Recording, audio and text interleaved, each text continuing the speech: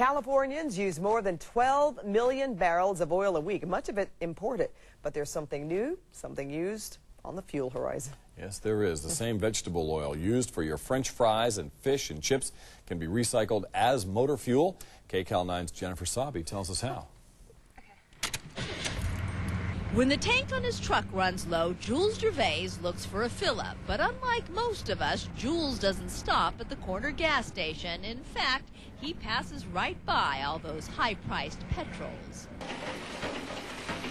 Instead, the former math teacher heads home to his garage where he fills her up with his home-brewed biodiesel, a homemade fuel he cooks up from old cooking oil. If you add lye and methanol to vegetable oil, this is a formula that's been developed uh, since the 1970s, that you can actually come up with a, uh, a, a, a fuel that powers your car. Jules collects used vegetable oil from his neighborhood restaurants. You know that greasy stuff left over from french fries and donut making. So they call it biodiesel because it's made out of, out of uh, oil that you get, you know, soybeans, uh, corn, safflower, sun, uh, sunflower oil. Jules' motto is, all we are saying is give grease a chance. Sounds corny until you hear how much he pays to power his car. For us, it's cheap.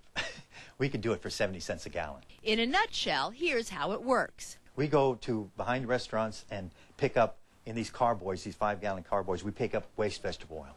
Then we pour it, we pour the waste vegetable oil in this in the strainer right here. After that's been strained, just to get out the, uh, there might be like bits of French fries. He heats the vegetable oil in an old water heater, then adds methanol and lye. Now you got the two together, and a chemical reaction takes place. A couple hours later, the fuel floats to the top. A little like how Grandma used to can jams, Jules brews biodiesel, and when it's finished, just give me about three gallons. Jules fills his tank and off he goes. He gets about the same miles to the gallon and says it's less polluting than regular diesel fuel.